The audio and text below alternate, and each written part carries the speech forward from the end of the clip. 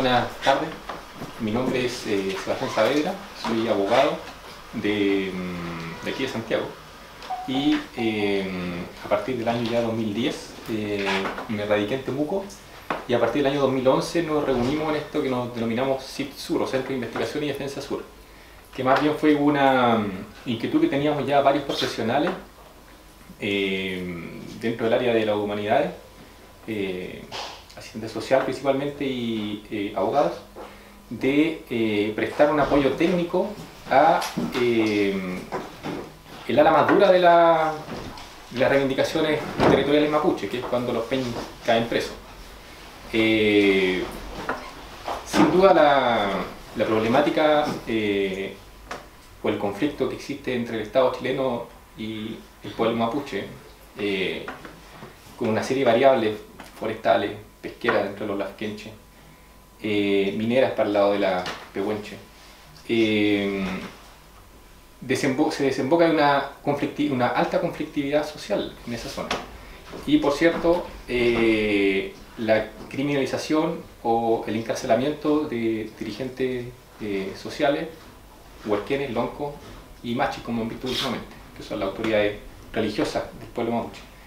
y en ese punto, nosotros, nosotros eh, desde un comienzo, y yo creo que ustedes también lo pueden ver desde acá, sin necesidad de tanto medio de comunicación, eh, es posible observar una eh, aplicación discriminatoria de la ley, que eso se puede ver en todo ámbito de cosas, no solamente respecto al pueblo mapuche, también del pueblo pobre chileno.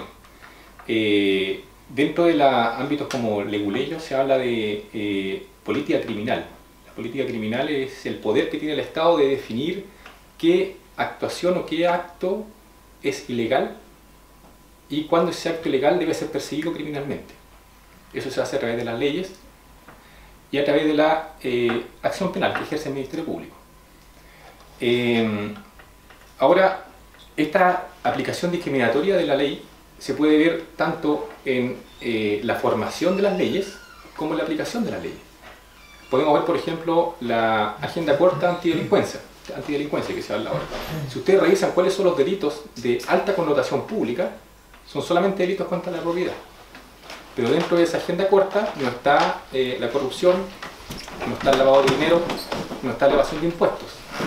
A pesar de que ciertamente esos delitos tienen una eh, alta connotación pública, no están dentro de la agenda corta antidelincuencia porque quienes crean las leyes no las crean para que los metan presos a ellos, las meten para meter presos a los pobres, a los mapuches, a los que pelean. Eh, en, el, caso del pueblo mapuche, eso se puede ver reflejado de forma eh, clarísima. Eh, partiendo de, los niveles más bajos de, o, de leyes, entre, comillas, más, suaves, como es, por ejemplo, los delitos contra la propiedad. En el sur se dan mucho los casos de avigiato, que son los casos de robos de animales. El avigiato ha sido constantemente subido a su, eh, su ámbito de, penalidad. Eh, antiguamente el avigiato era considerado igual que un robo de animales, o sea, perdón, de cualquier especie, pero en el caso específico de animales, que puede ser gallina, chancho, vaca. Y, y se establecía por ley que el tribunal puede o podría eh, aumentarla en un grado. Para que entiendan lo que significa un grado, es la pena aumenta de 3 años a 5, aumenta de 5 años a 10, aumenta de 10 a 15, aumenta de 15 a 20. Por lo tanto, un grado implica eh, una diferencia de 3 años, de 5 años o hasta de 10 años. Eh, hubo una modificación legal que estableció que el, ese, eh, ese aumento de penalidad ya no iba a ser facultativo del tribunal, sino que tiene que ser obligatorio. Por lo tanto, si tú te robas una zapatilla, te da una pena, pero si tú robas una vaca, te da la misma pena, pero aumentado en un grado. Los robos de animales donde se más ocurre es de la sexta, séptima región hacia el sur. Y eh, se pueden ver grandes titulares eh, por estos días en que se, ha establecido, eh, a nivel de prensa obviamente, que los robos de animales de la octava y novena región son para financiar actividades ilícitas o terroristas. El avigiato también tiene una eh, particularidad en la investigación. Cuando tú eres un imputado respecto de cualquier delito y quieren eh, entrar en un domicilio, se tiene que llamar un juez de la República y el juez tiene que habiendo escuchado los antecedentes, dar o no lugar a la entrada a un, eh, a un recinto privado. En el caso del vigiato, en cambio, se estableció en el Código Procesal Penal un inciso específico solamente para el vigiato, que cuando Carabineros se encuentra, tiene sospechas de que se ha cometido un delito de vigiato en un predio agrícola, puede ingresar sin autorización. Ese tipo de situaciones eh, tiene como resultado constantes allanamientos en eh, comunidades indígenas, indicadas por carabineros como autores de vigiato, eh, con el objeto de revisar las comunidades por completo, buscando no solamente animales, sino que obviamente otro tipo de ilícito o personas que tienen algún tipo de orden de detención. Eso va escalando con las leyes especiales. Leyes especiales se denominan a leyes que no son como las leyes comunes, no son leyes eh, que se aplican regularmente. Por ejemplo, ley de control de armas, ley de seguridad del Estado y la legislación antiterrorista. Eh, la ley de control de armas fue modificada, eh, no sé si lo saben, hace muy poco, a principios del año pasado, y que implicó un aumento sustancial en todos los delitos. Municiones, armas convencionales, armas prohibidas, fabricación de armas, molotov, implica un aumento nuevamente eh, en la penalidad. Y además eh, se estableció por ley que si ustedes o cualquier persona es detenida por un delito de control de armas, donde se incluye las molotov, por ejemplo, no se tiene derecho a beneficio. Tú tienes que cumplir sí o sí en la cárcel. Es como una ley Emilia, pero piolita, porque nadie la supo. La ley Emilia, a lo menos ya todos saben aquí que si toman un trago no pueden manejar porque si no se van presos. Sin embargo, la ley de control de armas pasa lo mismo. Si a un estudiante lo pillan con una molotov, el estudiante se va a ir preso. Sí o sí. No hay posibilidad de que eh, esa persona pueda optar a algún beneficio eh, ya una vez ya condenado, si tú tienes irreprochable conducta y es tu primera condena, eh, salvo obviamente que si no mata a tu papá, bueno, esto es muy, muy grave, pero si hay un delito eh, contra la propiedad, por ejemplo, y es tu primer delito, tú tienes la posibilidad de firmar o cumplir la pena en tu casa si te pillan con una molotov, tú tienes que cumplirla efectivamente en la cárcel. No tienes posibilidad de ningún beneficio. Por lo tanto, conviene robar cuando. claro. les conviene decir que se robaron una molotov. Puede ser algún beneficio. Y la ley antiterrorista.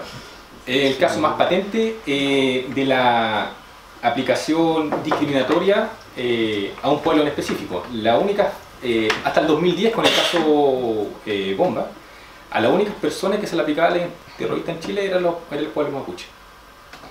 Eh, esto, eh, más adelante lo voy a hablar un poquito, eso ya fue recogido, por ejemplo, por la Corte Interamericana de Derechos Humanos que condenó al Estado de Chile el año 2014, justamente por unos casos específicos que les voy a comentar más adelante. Ahora, eh, como les estaba mencionando, la aplicación discriminatoria encuentra dos fases. En la, mm, creación de normas penales, que es las que yo le he relatado, pero también en la aplicación. La aplicación de la, de la ley penal, eh, la persecución de los delitos, la investigación de los delitos, es una facultad exclusiva y excluyente del Ministerio Público. Ese es el órgano eh, que por la Constitución es el encargado de investigar. Sobre él recae si te investigan o no te investigan. Eh, en Temuco se creó, eh, haciendo el símil de Santiago, la eh, Fiscalía de Alta Complejidad, la FIAC. Eso se creó, si mal no recuerdo, el 2014 también. A diferencia de lo que ocurre en Santiago, esa Fiscalía de Alta Complejidad no investiga políticos. Esa Fiscalía de Alta Complejidad investiga mapuches los, dos fiscales jefes de esa, eh, em, de, esta,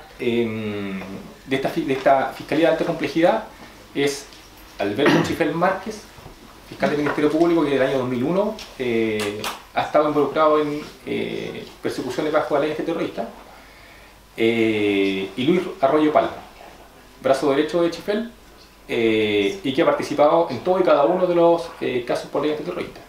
Esos son los jefes de esta, eh, de esta fiscalía.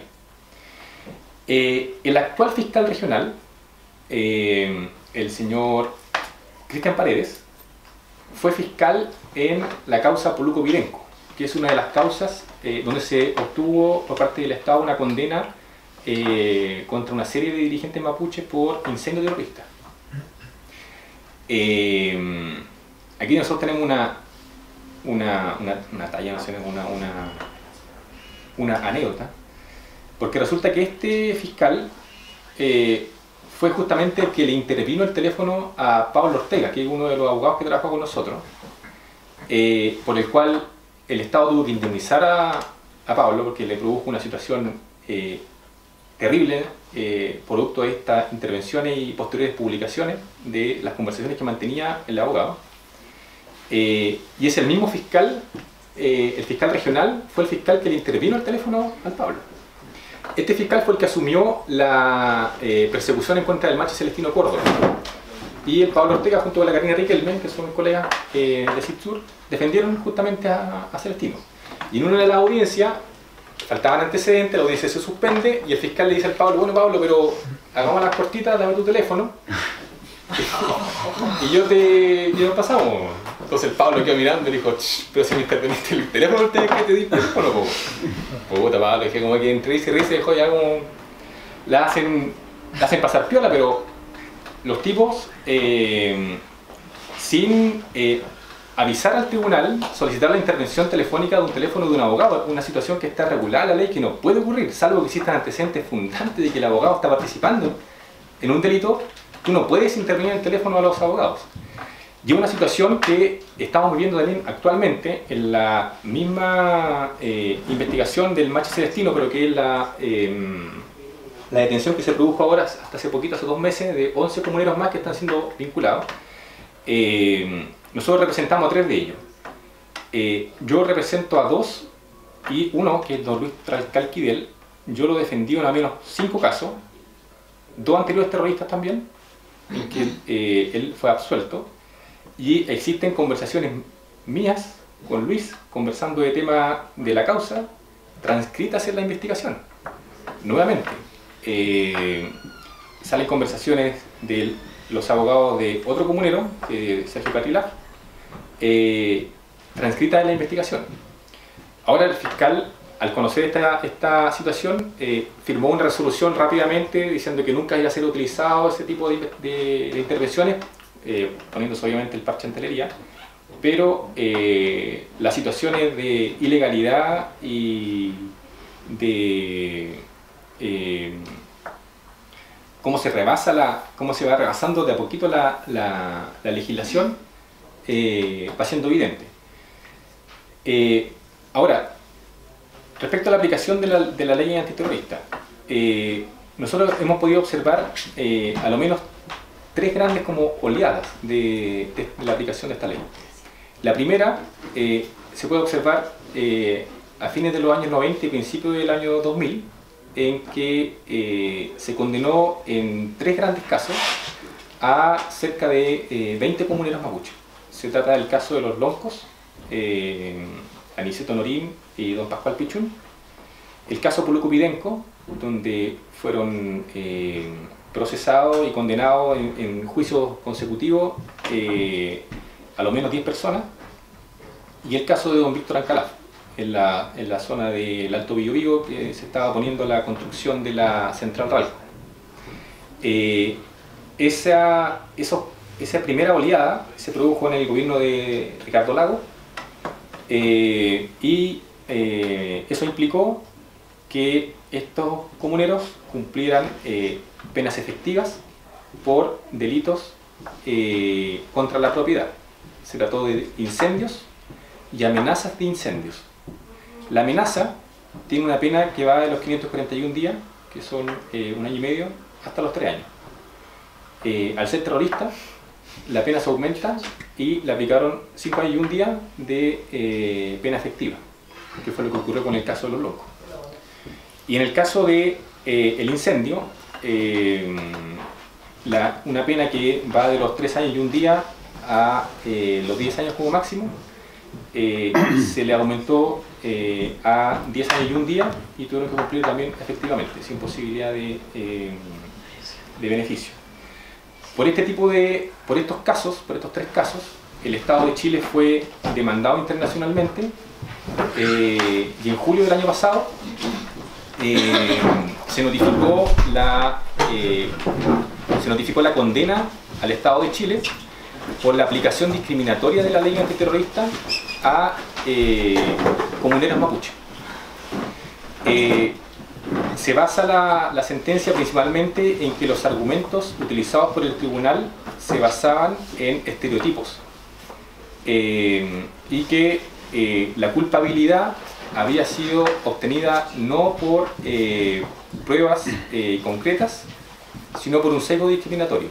Por ejemplo, en el caso de los loncos, al no tener prueba de su participación en los delitos de incendio, se los termina condenando por el delito de amenaza de incendio, eh, pero al no existir prueba concreta de su participación, tampoco en el delito de amenaza, se señaló que al ser ellos loncos de la comunidad y por lo tanto ser eh, dirigentes de sus propias comunidades, no podían menos que saber que en su comunidad se estaba eh, planeando este tipo de hechos y fueron condenados por eso.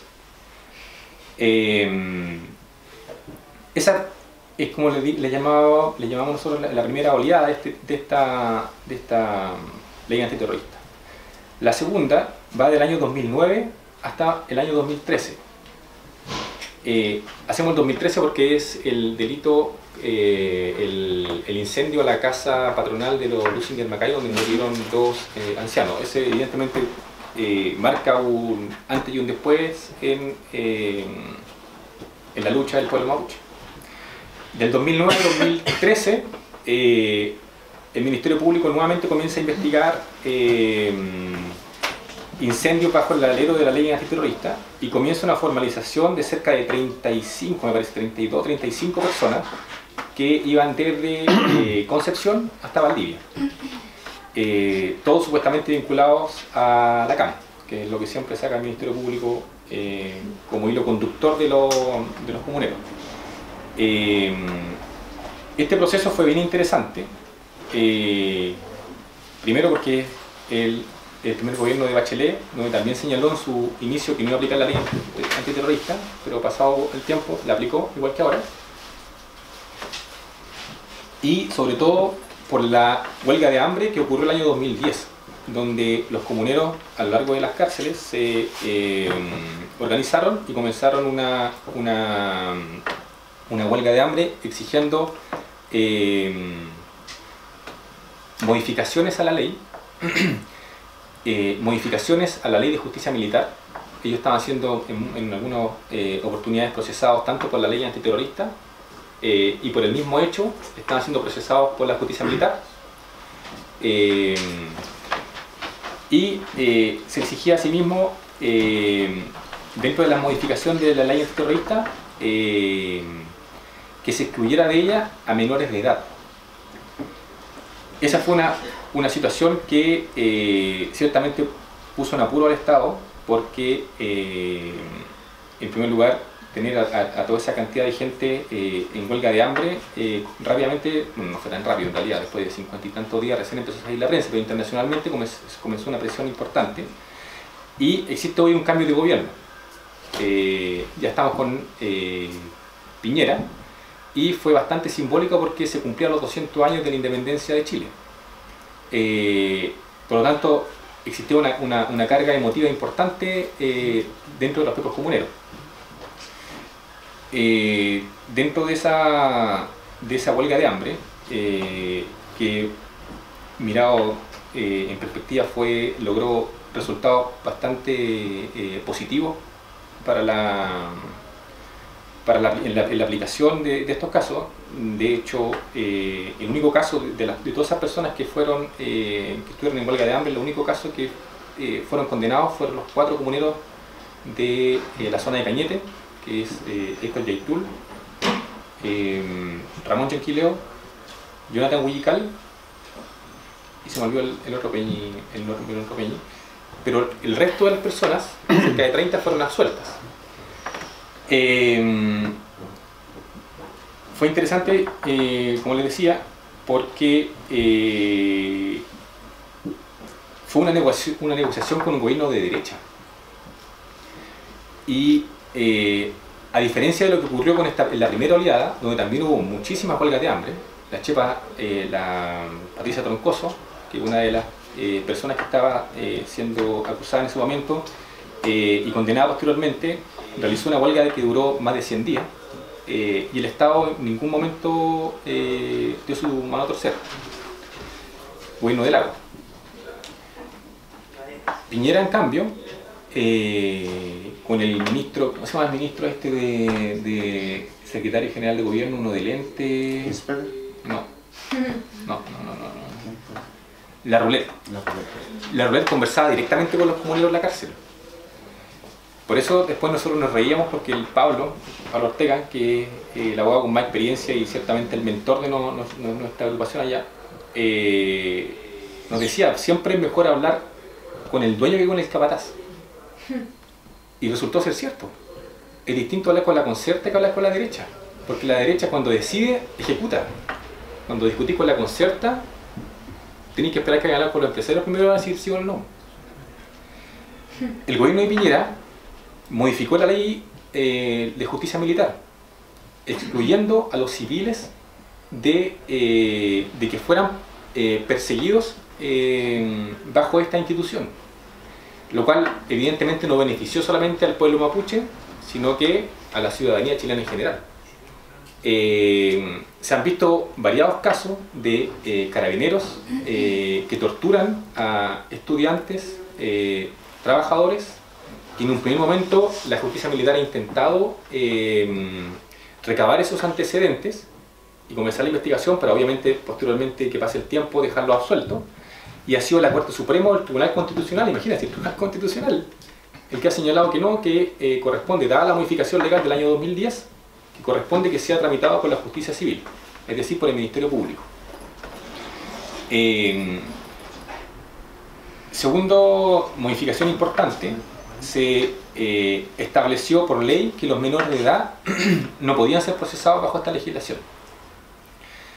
Eh, eso que para todos nosotros puede ser algo evidente, un niño evidentemente no puede ser procesado por ley terrorista, los niños tienen una legislación especial que es la ley de responsabilidad penal adolescente, con un régimen especial, con principios informadores eh, particulares, donde se mira la resocialización, la educación de los menores para lograr, que se contrapone evidentemente a una ley que lo que busca es encarcelar, eh, estigmatizar. Eh, sin embargo, entre el 2009 y el 2013 existieron tres menores de edad procesados por esta legislación Dos de ellos pasaron eh, largos periodos de privación de libertad en, en Cholchol, en un centro de menores en Cholchol. y el tercero, Juan Patricio Keipul, eh, él es de la comunidad Temubuicuy, domador de caballos, por lo tanto jamás fue eh, atrapado. Pero debió vivir durante casi un año en la montaña, escapando de los carabineros. Producto de esta modificación legal, entonces, como les contaba, se excluyó a los menores de edad eh, de la aplicación de esta, de esta legislación de sección. Fue siendo sobreseído en definitiva, eh, absuelto otros, y evidentemente cambió el paradigma de los jueces. A partir de esta huelga de hambre, unido a la sentencia de la Corte Interamericana, al menos los tribunales orales, que son los tribunales que en definitiva establecen cuál es la calificación del, derecho, porque el Ministerio Público puede decir que esto es una ley contra el planeta, un delito contra la, contra la propiedad, puede decir lo que quiera, pero en definitiva quien determina cuál es la calificación jurídica es el Tribunal Oral lo Penal. Los tribunales orales de Temuco y Dangol, eh, a partir de estos dos grandes hitos, a partir del 2010, entre el 2010 y el 2014, eh, han ido eh, desarrollando mucho más eh, sus argumentaciones respecto de cuándo se aplica o no se aplica la ley antiterrorista. Ya no tenemos ese tipo de argumento de que por ser loncos tienen que saber lo que están haciendo su comunidad. No solamente nosotros logramos la absolución de todos nuestros representados que estaban en ese momento encarcelados, sino que además logramos que en los cuatro casos que, tenía, que existía en ese momento eh, por ley antiterrorista. En los cuatro casos, los tribunales señalaron que, se, eh, que todos los delitos no constituían delitos terroristas, sino que constituían delitos comunes y que por lo tanto eh, tiene que ser, en el caso de, establecerse la responsabilidad, sancionarse por la ley común.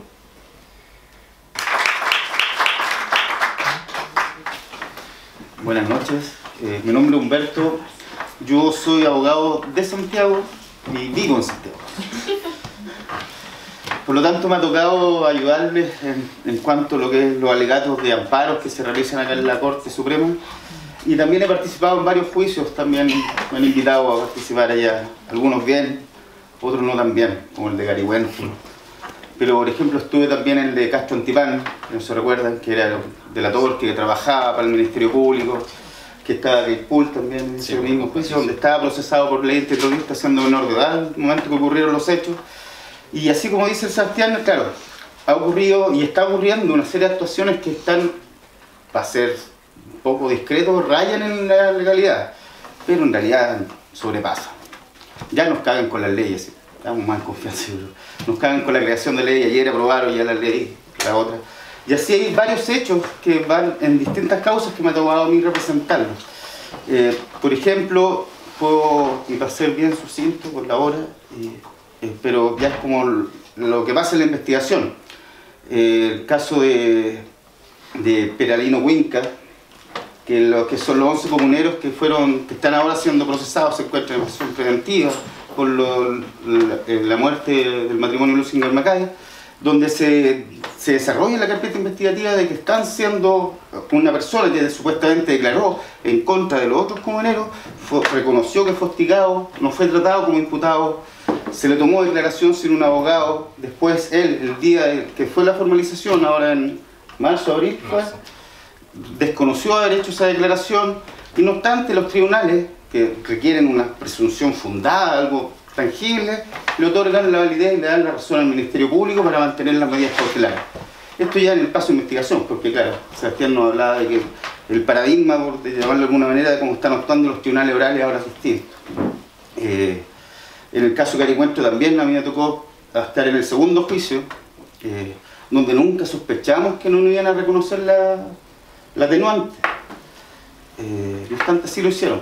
Ya se aumentaron los años y así evitaron de que quedara libertad, que era más probable, eh, debido a que el otro estaba en libertad.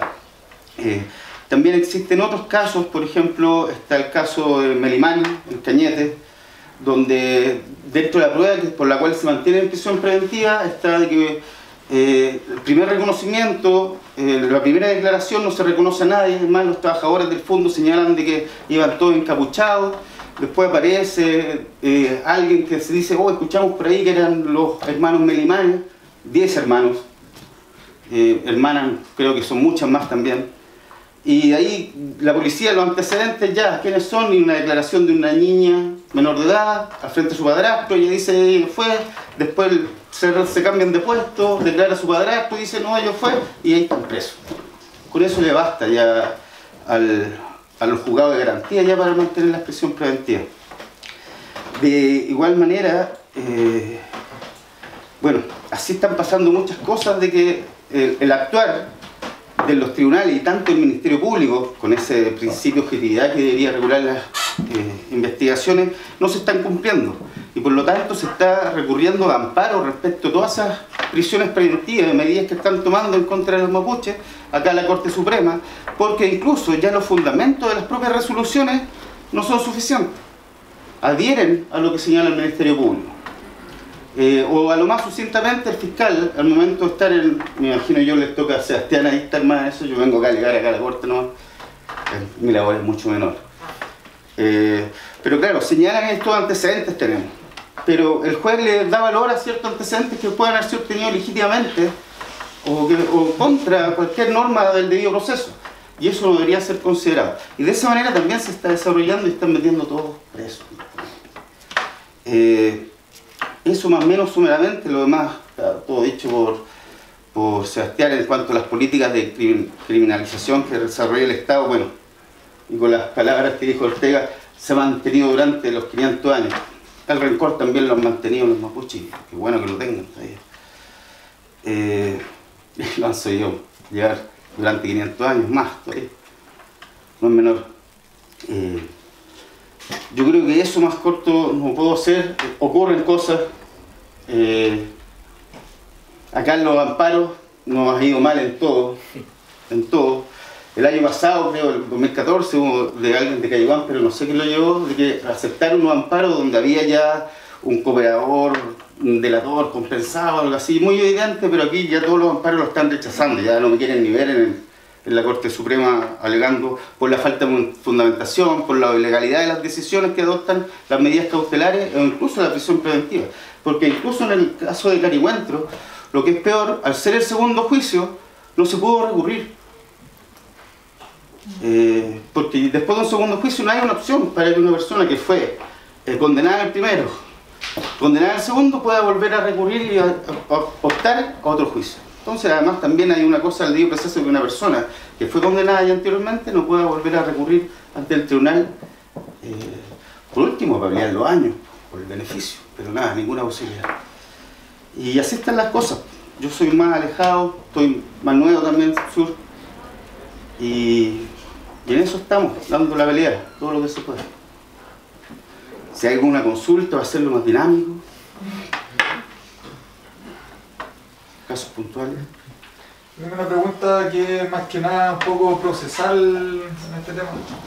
Eh, con lo que decía, eh, decían delante del caso de, ya no recuerdo los nombres, pero el que era el imputado por una parte y víctima por el otro. Claro, el imputado el que mm, quemó tres camiones y una maquinaria, no le reconocieron la atenuante de los 700 mil pesos como eh, reparar con cero del mal causado y el mismo juez eh, le accedió a esa atenuante al otro que está imputado y depositó 600 mil pesos.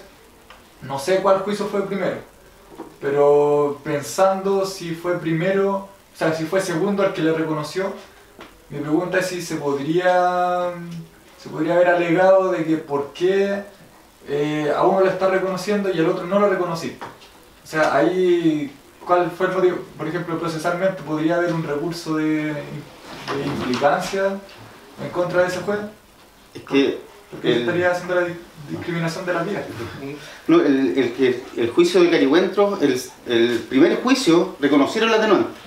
Y en el segundo juicio fue cuando no reconocieron la atenuante. Y ese segundo juicio fue anterior al, al que reconocieron posteriormente la, la atenuante en calidad de. cuando estaban en calidad de querellante.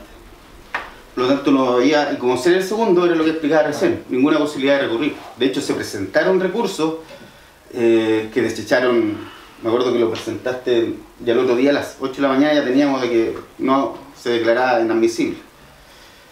Y ahí presentaba un amparo, que me tocó venir aquí a pelearlo, y nada. Sí, Oscar Piñuela Aller se llama el juez. y estuvo, parece, también estuvo en el juicio del Celestino. Sí, sí el, bueno, en el caso Celestino, como les señalaba, el Tribunal Oral son tres jueces. En el caso Celestino fue condenado, eh, dos jueces dijeron que no era terrorista y uno dijo que sí era terrorista. Adivinen quién era. Oscar Viñola Aller.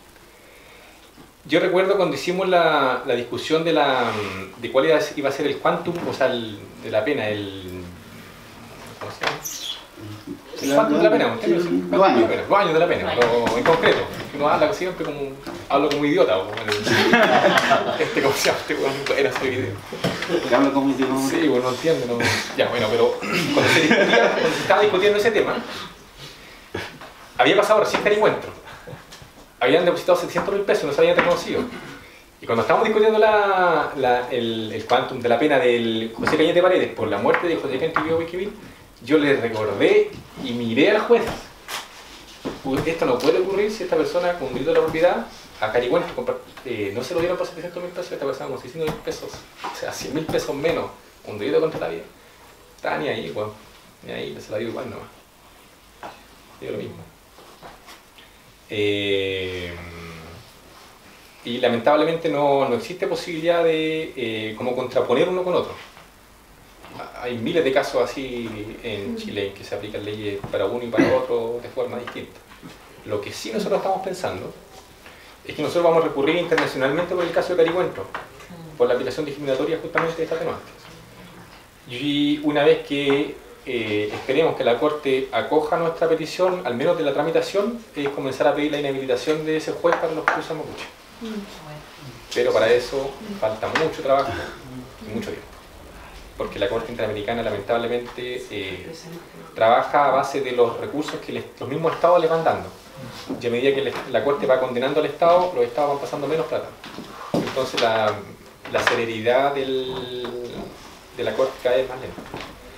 Eh, el caso que nosotros tenemos en la Corte, no tenemos tres casos, pero el primero que se interpuso fue justamente por la condena de los cuatro comuneros que le señalaba de Cañete, por, la, por el caso que se denominó eh, contra el fiscal Aguilgueta, en la zona de Cañete. La emboscada de aniquilamiento, como decían los, los policías de investigaciones. Eh, ahí se condenó a estas personas con el único, la única declaración de un testigo con reserva de identidad que jamás se supo cómo se llamaba. Todos los peñas sabían quién era, pero no se podía sacar. Eso es lo, que gran problema de los testigos sin rostro. Es que tú puedes saber quién es, pero no puedes desacreditarlo. Tú puedes saber que es un borracho, delincuente, pero no puedes sacar esos antecedentes y decir, mire, la persona que me acusa tiene todos estos antecedentes, eh, le pega a la señora, es un borracho. Porque si tú das esos antecedentes, también te sancionan porque estás dando a conocer el nombre de un testigo de identidad bajo la ley antiterrorista. Eh, en ese caso, se presentó el recurso ante la Corte Interamericana. Esto fue el año eh, fin del 2010, principio del 2011. Y el año, no, recuerdo si el mes pasado o antepasado, se notificó al Pablo que se había cogido a tramitación la, denuncia. Imagínate, 2010, estamos a 2016 después de seis años se nos dijo que ya, denos a conocer lo que ocurre. De ahí a una sentencia puede pasar fácil de años. En el caso de los loncos, ellos fueron condenados en 2003 y la sentencia definitiva fue notificada al Estado de Chile el año pasado. O sea, entonces dos años. Dos años transcurrieron. El Peña Pascual Pichul falleció antes de que llegara la sentencia. Lo más probable es que si llegáramos a ganar el caso de Carihuenco, él va a estar libre.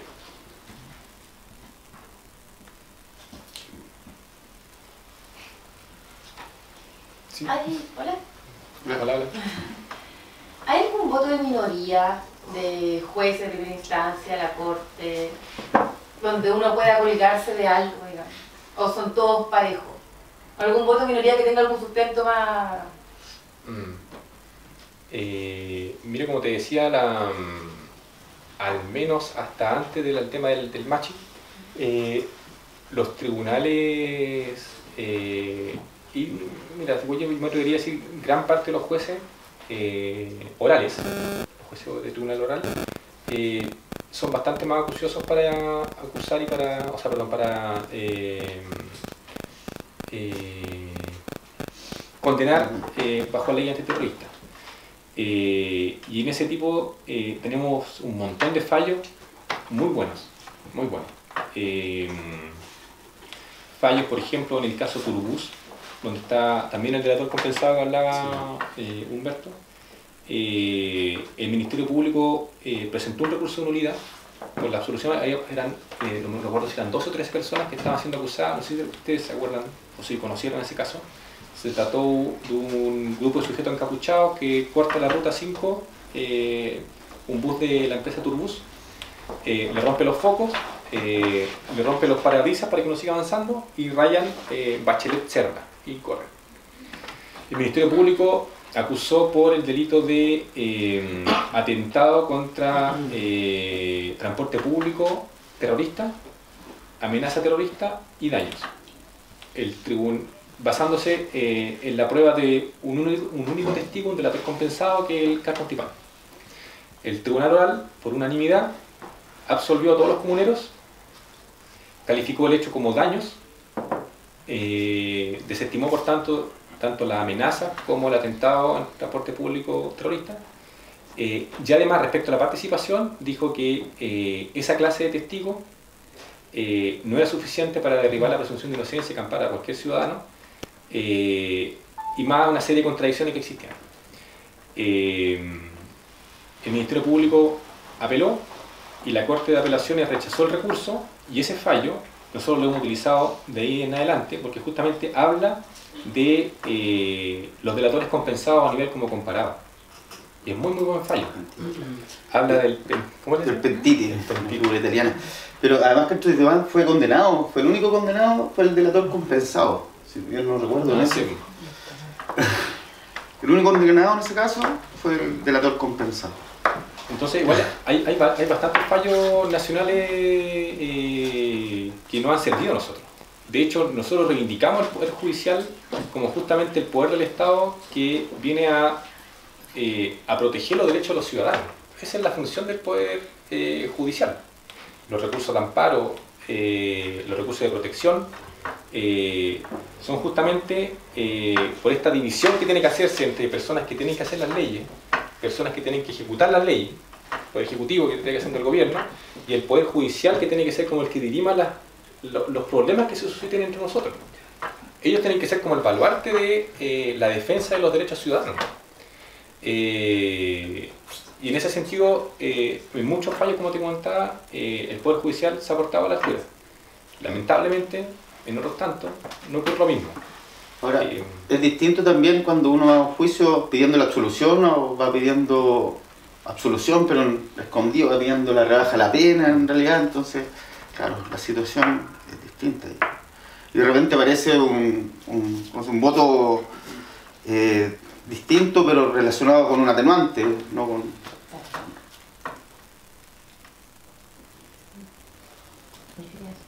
Que, ah, ¿No? Ya. No, es que quería, básicamente es como un comentario que, bueno, en primer lugar agradecer su trabajo, chiquillos, como creo que es un ejemplo para muchas personas, compañeros y compañeras que quieren seguir el camino de una defensa jurídica distinta. ¿ya? Así como agradecer también que puedan exponer con tanta claridad cada uno de los casos que, que exponen, con el compromiso que también he visto que, que lo han puesto. Y también me surge una duda como, como este vínculo como organización de ustedes, como con las comunidades, con la gente, eh, que también me imagino que también tiene algo de eso, y también me imagino que, como decían en un principio, que también trabajan con gente que no son necesariamente abogados o abogadas. Entonces también cómo se vinculan desde, desde este grupo multidisciplinario de humanidades o como sea, ¿cachai? Con, con esta realidad, porque están situados también territorialmente. Entonces también eso me, me parece interesante también discutirlo como experiencia eh, para nosotros, para los centralistas de Santiago. Claro. Bueno, Dance Sur, hay un centro de estudio. Sí, pues mira, nosotros eh, nos planteamos justamente como el brazo técnico de los peñas. Nosotros eh, tenemos una relación excelente con los comuneros, eh, tratamos de aprender lo más posible de ellos, de su forma de trabajo. De hecho, nosotros, la, preguntaba recién cómo éramos, como nosotros nos definimos más como un centro, como una agrupación, como una montonera porque no somos un grupo de personas que nos reunimos y como muy horizontalmente vamos decidiendo las cosas. Y también un símil también como son los peñis. Los peñis no tienen una jerarquía así como nosotros, como los chilenos, ¿no? tienen un presidente, tienen lonco, pero tienen cientos de loncos. Tienen machi, tienen cientos de machi. Tú puedes encontrar en una comunidad 20 machi. Y cada, cada lote va teniendo su- sus parcialidades, como lo llaman antiguamente. Eh, y justamente nosotros no, no- no- nuestra, nuestro acercamiento a las comunidades eh, jamás ha sido en términos como mesiánicos. No- nunca nos hemos planteado, nosotros venimos aquí con los grandes estudios, yo estudié en Santiago, jamás. Nosotros vamos para allá, eh, los comuneros son mucho de conversar. El trabún es importantísimo, la, la reunión, la, el- la teoría del caso se, se crea en las comunidades. Nosotros le exponemos todo lo, las partes como mire, se puede hacer esto, esto, esto y otro. Le planteamos el abanico de posibilidades, el Peña dice, el dice esta y nosotros ya para allá vamos. Y hasta el momento nos ha resultado perfectamente porque los comuneros han entendido y es justamente lo que ellos quieren. Varios comuneros han dicho, nos gusta trabajar con ustedes porque ustedes no se meten en, nuestro, como en, nuestra dinámica. Eh, existen personas eh, que van para allá justamente con, el- con las ganas de hacer la revolución, porque igual lo- los comuneros eh, tienen una lucha ancestral, si no milenaria. La forma que tienen de ver la vida se contrapone radicalmente a la forma que tiene la, no sé si todos los Wincas, pero a lo menos el poder político y económico nacional. La forma de ver la tierra, de ver los medios de producción, de ver las materias primas, para ellos son espíritus. Entonces la, la cuestión es totalmente distinta. Eh, y, esa, y esa como dinámica que tienen ellos la permitió sobrevivir con- en esta resistencia que para los chilenos es súper llamativa, para los jóvenes, para los estudiantes o para los que les gusta el huevo. es súper interesante porque los tipos han, han sabido resistir a, la- a las policías más importantes nacionales, para la inteligencia de allá, pero policías encapuchados, fuerzas especiales, eh, tremenda. Eh, pero ellos también son eh, bien eh, de su intimidad comunitaria. Y en ese sentido nosotros igual hemos respetado al 100% eso. Eh, y esto lamento nos ha servido bastante. Y en términos de, de defensa, claro, al ser multidisciplinario también se ve una perspectiva también mucho más amplia eh, por lo mismo. Eh, se hace un peritaje Garibaldi, no me acuerdo el nombre yo, estaba así, eh, claro, que tiene un rol en la comunidad, la Machi que tiene otro rol, y así. Ah, claro, sí, sí, bueno, el tema multidisci- multidisciplinario, eh, evidentemente el mismo, o sea, a mí me costó decir quantum de otra forma, imagínate, con un penny. Entonces igual hay, otros- hay otras personas que me ayudan a mí también a, A traducir. a traducir, pues ya, bueno, igual yo tengo harta onda con los longos y toda la cosa. pero obviamente uno es muy cuadrado, entonces igual es importante, trabajamos con asistentes, eh, trabajadores sociales, eh, psicólogos cuando hemos tenido que hacer algún tipo de, hemos también llevado eh, demandas de indemnización de perjuicio por violaciones eh, a sus derechos mínimos eh, y peritaje antropológico también cuando ha sido necesario. Eh, hay delitos que son más, es que uno también va jugando, no, no jugando, pero eh, tú tenés más posibilidades de eh, innovar cuando la sanción que arriesga una multa o un año firmando a cuando va a estar 18 años. Entonces,